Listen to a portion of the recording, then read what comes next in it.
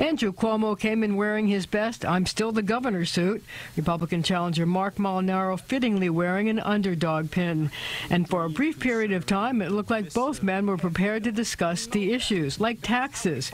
Would Cuomo commit to cutting government spending by 5% and return the money to taxpayers?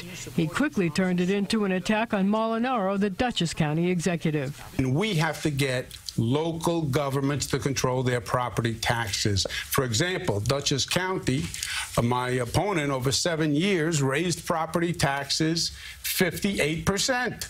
That has to stop. Governor, were that only true? Uh, in fact, uh, your budgets have increased spending at about an annual rate of 4% each year. They went on to discuss the importance of health care. I grew up on food stamps, sir.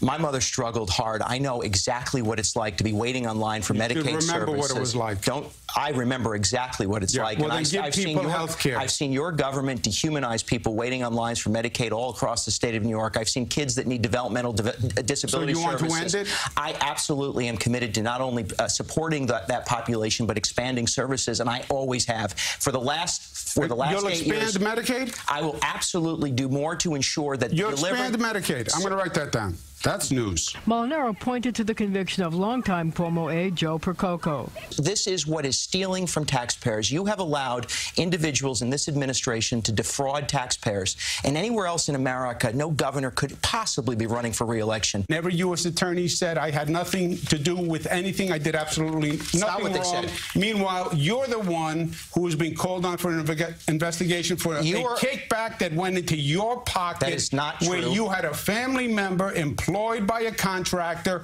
who you gave a contract, and then you lied about it on the disclosure form. What you described has been demonstrably pl- proven false. Time and again, the governor painted Molinaro with the Trump brush. We need to invest in the mental health services that have been dismantled. This is so hypocritical for you to sit here, an acolyte of Donald Trump, mini me of Donald Trump, who is decimating health care in this state. When he first came to office, told him you wouldn't run against him, and you, sir, had him at your bachelor party. I didn't. Food Are you stamps. saying you don't support Donald Trump? I'm saying that I'm absolutely committed to the delivery of Do mental you health support. Donald Trump? Uh, Let's get out of this conversation. support- Today, under under this president and this federal government, America has the most competitive economy in the world. During the lightning round at the end, I asked both candidates what song personifies them or their campaign. Cuomo chose Empire State of Mind.